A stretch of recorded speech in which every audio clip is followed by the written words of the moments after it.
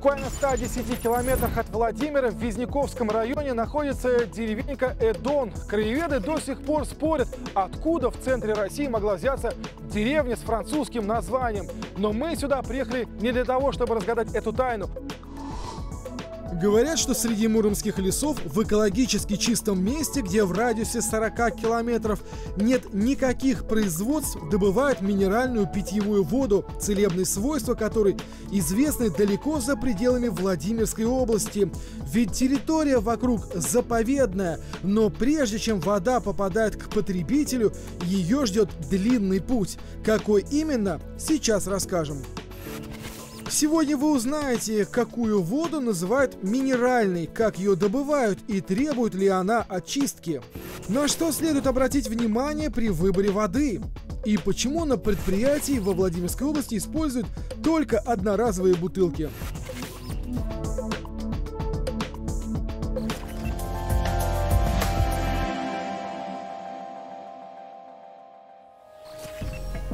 Древних времен люди относились к воде по-особому. Они слагали мифы, легенды и сказки. Согласно некоторым из них, существовала живая вода, и она обладала волшебными свойствами, заживляла раны и даже была способна вернуть к жизни. Мертвая же вода была опасна.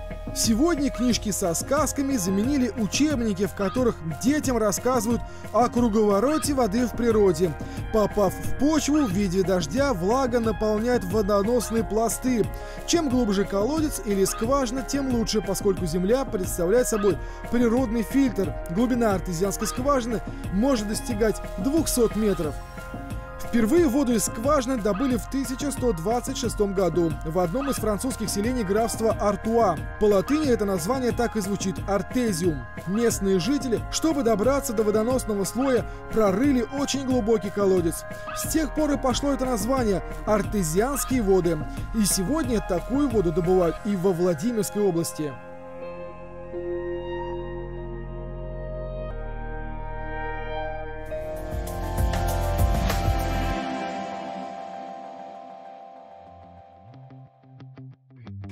Мы находимся на территории предприятия «Выбор-С», и вот именно здесь, у этого места, можно сказать, рождается та самая уникальная природная минеральная вода «Я». Сергей Владимирович, э, насколько я понимаю, это та самая артезианская скважина.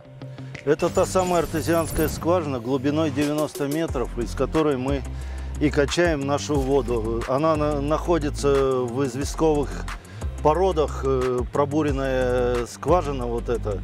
Там известковой породы, как губка, копит в себе воду и высвобождается в эту пробуренную скважину, и отсюда мы ее закачиваем. Закачиваем ее непосредственно сразу на производство. То есть несомненным преимуществом нашей воды является то, что наше производство находится в непосредственной близости от скважины. А если брать точнее, то в 50 метрах от нее Бытует мнение, что пить можно любую воду из подземного источника. Но это не так. Даже если на вашем участке есть скважина, прежде чем пить из нее воду, нужно отнести образец в лабораторию для анализа. Чаще всего в воде требуется дополнительная очистка. Компании «Выбор С» воду очищают от возможных вредных примесей так, чтобы сохранить ее полезные свойства. Но у каждого производителя есть и другие свои отличия. В состав этой воды входят гидрокарбонаты, кальций и магний. Поэтому питьевая вода Я относится к минеральным природным столовым водам. Из артезианского источника вода попадает сразу сюда, в помещение, где происходит водоподготовка. Прежде чем быть разлитой по разным емкостям, вода проходит три степени очистки. Первая – это угольный фильтр, вторая – мембранная и третья – картриджная. И после этого еще происходит обеззараживание воды при помощи ультрафиолетовых ламп.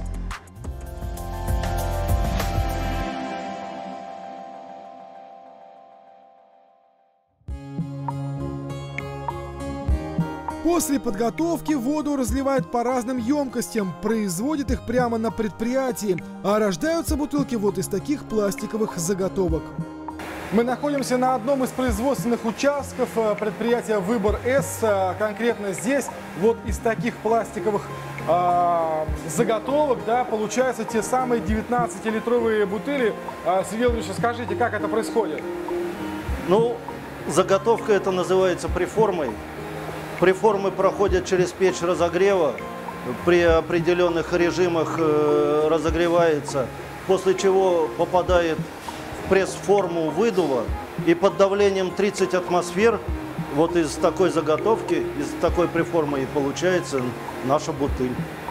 Предприятие не использует емкости повторно, как некоторые другие производители, и на то есть свои причины. Ведь бутылка может быть плохо промыта, и внутри нее созданы почти идеальные условия для роста микробов, поэтому емкости на этом предприятии все одноразовые.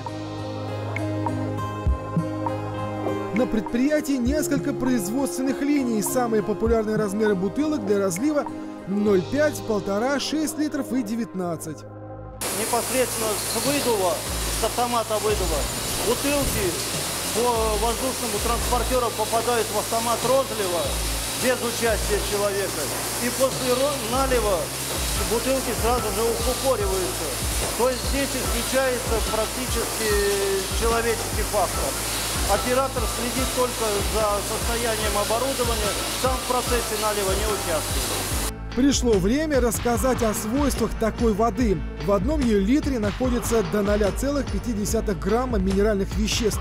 Вода одновременно содержит и магний, и кальций, что понравится поклонникам здорового образа жизни и тем, кто проходит лечение патологии нервной, выделительной и пищеварительной систем. Существует миф о том, что каждый день человек должен выпивать не менее 8 стаканов воды. На самом деле врачи рекомендуют исходить из среднего показателя потребности 30-40 мл на килограмм веса. Стоит помнить и о том, что если вы занимаетесь спортом или ваша работа связана с физическими нагрузками, то потребность в жидкости увеличивается.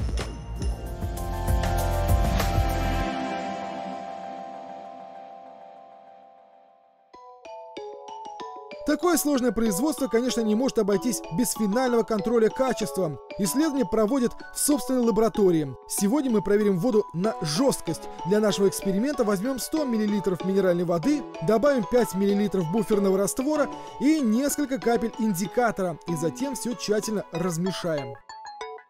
Сейчас должна измениться окраска.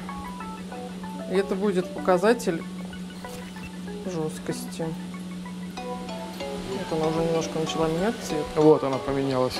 Пересчитать на формуле, и мы будем уже знать градус жесткости нашей воды. Эксперимент показал, что жесткость питьевой минеральной воды Я 4,25, а значит по показателям предельно допустимого содержания солей эту воду можно назвать мягкой, и она отвечает нормам Санпина и ГОСТа.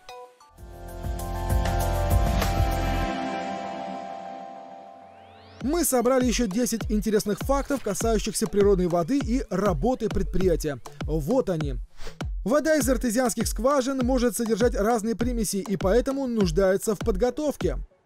На бутылке с минеральной водой должен быть указан не только ее состав, но и регистрационный номер артезианской скважины, из которой она добыта и ее место расположения.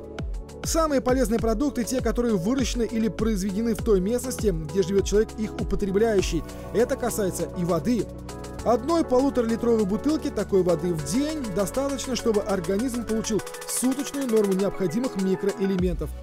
Питьевая минеральная вода позволяет снять усталость, поскольку в ней содержится магний, который поддерживает работу мышечной ткани. Употребление питьевой воды помогает снижать вес. Вода ускоряет процесс метаболизма и снижает аппетит, а точнее жажду, которую мы часто принимаем за голод. Говорят, что питьевую воду нельзя повторно кипятить, потому что в такой воде повышается содержание изотопов тяжелого водорода дейтерия. Однако у медицины нет подтверждений, что такая вода может нанести вред здоровью. Оказывается, горячая вода замерзает быстрее холодной. И это свойство воды называют эффектом Мпемба. В 1963 году именно танзанийский студент Эраста Мпемба выявил, что под воздействием одинаково низких температур горячая вода замерзает быстрее холодной. Есть мнение, что вода обладает памятью. Это свойство воды накапливает в себе информацию, открыл японский ученый Масару Эмота. На протяжении уже 20 лет минеральная вода Я имеет постоянный состав. Неожиданный факт, минеральная вода Я подходит для засолки огурцов и помидоров.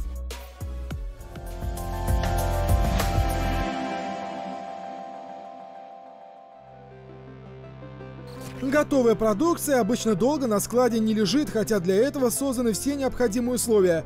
Питьевая вода хранится в темных помещениях при температуре около 18 градусов. Перед тем, как отправить воду заказчику, емкости оборачивают пленкой в несколько слоев. Таким образом, бутылки защищают от механических повреждений. А, Сергей Владимирович, наблюдаем за погрузкой готовой продукции. Вот такие замечательные не 5, а 6-литровые емкости с питьевой водой «Я». Куда они отправляются? Ну, данная партия сейчас уходит э, в компанию «Радуга вкуса» в город Владимир.